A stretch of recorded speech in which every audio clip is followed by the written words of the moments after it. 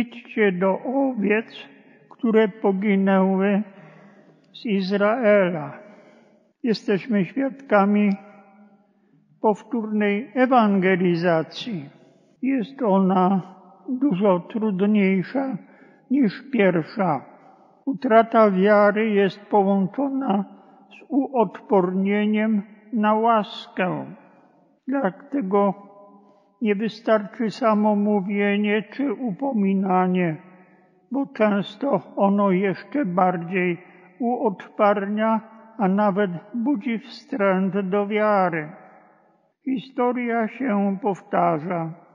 Jezus mówił o owcach, które poginęły z Izraela. Dziś mówi nam o owcach, które poginęły z Kościoła. Dla wierzących jest to zawsze bolesne, szczególnie wtedy, gdy ta owca należy do rodziny. Jezus mówi, na czym polega to ta powtórna ewangelizacja.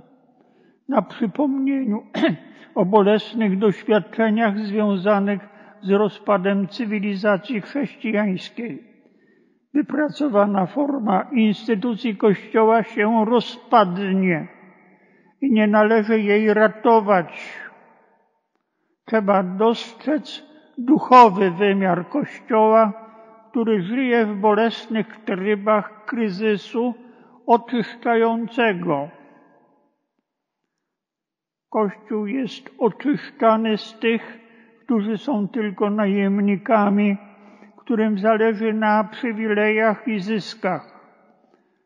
A ten kryzys krystalizuje ludzi mocnej wiary i żywej miłości. To przypomnienie jest wezwaniem do czuwania, czyli dostrzegania wrogów atakujących Ewangelię od zewnątrz i od wewnątrz. To czuwanie Jezus łączy z modlitwą, czyli skoncentrowaniem uwagi na Bogu, który jest i który jest kochającym nas Ojcem. Tego nie da się przekazać słowem. Jest potrzebne świadectwo, czyli nasze życie czytelne Ewangelią. To świadectwo jest przez Jezusa połączone z cudami, których doświadczają ludzie straconej wiary. Żyjemy w świecie cudów.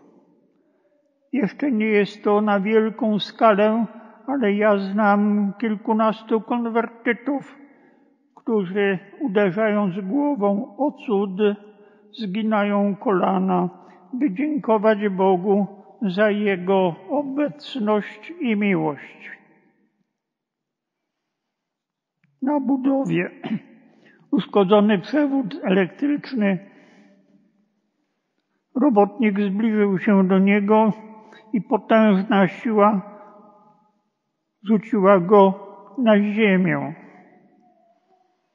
Kiedy wrócił do przytomności, to sam stwierdził, ja jeszcze żyję, to cud. Poprosił kolegę, by po pracy zawiózł go do kościoła i prosił o spowiedź. Ja jeszcze żyję. Zmienił się do tego stopnia, że inni pytali się go, co ci się stało. Powiada, cud, że żyję. Wracam do świata, który utraciłem. Kobieta na autostradzie uderza, uderzona z tyłu została z samochodem wbita w samochód jadący przed nią. Wydobyto ją z niego i szok jej potężny oraz ratujących ją strażników. Nie została zraniona. Świadkowie tylko pytali, jak się to stało. To pytanie uderzyło w nią silniej niż samochód do kasacji. Ona mówiła, Bóg mnie ocalił. Pytam tą panią, co zrobi z tym życiem, które pani otrzymała teraz. Będę mówiła, że Bóg nie chce śmierci grzesznika, tylko zmiany jego myślenia i leczenia się z kruchością życia na ziemi. Wystarczy sekunda. To jest głoszenie Ewangelii. Tak jest. To drugie życie to głoszenie Ewangelii. Prawie każda konwersja, czyli drugie nawrócenie, jest związane z cudem. O ten cud dla ludzi w Kościele, którzy utracili wiarę, dzisiaj wspólnie prosimy.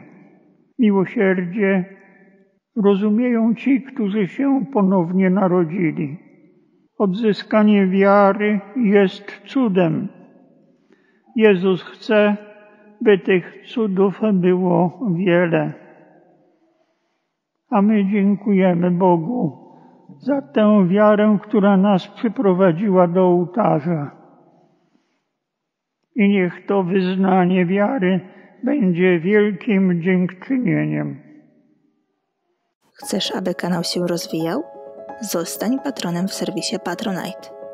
Szczegóły znajdziesz w opisie pod filmem.